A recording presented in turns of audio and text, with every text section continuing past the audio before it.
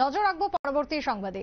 মোহনপুরের বেরিমুড়াতে মোহনপুর মহকুমা প্রশাসনের পক্ষ থেকে আজকে একটি প্রশাসনিক কর্মসূচির আয়োজন করা হয়। বিশেষ করে প্রশাসনিক কর্মসূচি সঙ্গে ছিল স্বাস্থ্য শিবির যার আয়োজন ছিল এবং তার সাথে বৃক্ষরোপণ করা হয়েছে আজকের অনুষ্ঠানের মধ্য দিয়ে।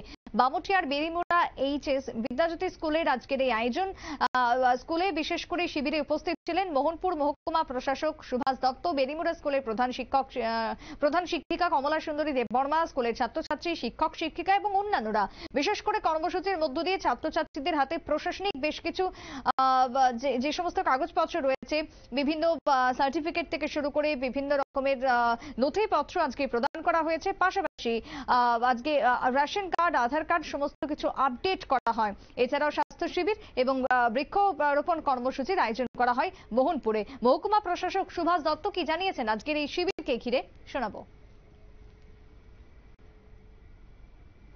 প্রশাসন থেকে একটা নতুন উদ্যোগ নিয়েছি মোহনপুর মহকুমাতে। আমরা এটা করছি যে যতগুলি বিদ্যাজ্যোতি স্কুল আছে এবং পরে যতগুলি হোস্টেল আছে এবং যতগুলি হাই হাই সেকেন্ডারি স্কুল আছে। সবগুলি স্কুলে আমরা একটা নতুন কর্মসূচি নিয়েছি আমাদের মহকুমা প্রশাসন থেকে।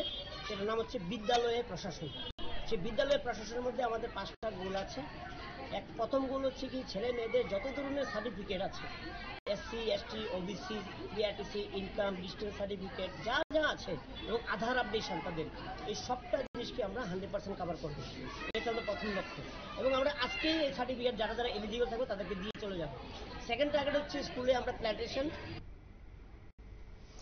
আপনারা শুনলেন মোহনপুর থেকে বক্তব্য, তবে আজকের এই শিবিরকে কেন্দ্র করে স্কুলের কচিকাচা পড়ুয়া থেকে শুরু করে অভিভাবকদের মধ্যে ব্যাপক সাড়া ছিল লক্ষণীয়। ছোট্ট বিরতির পর ফিরে আসব। সঙ্গে থাকুন।